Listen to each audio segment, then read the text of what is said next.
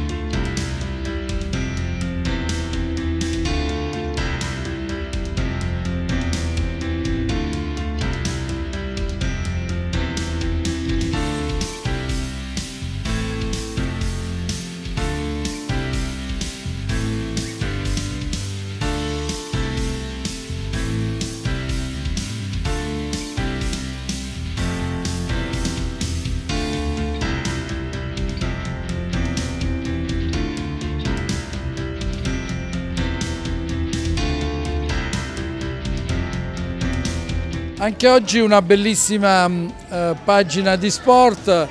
eh, sport vero, quello sui prati, i prati concessi dall'università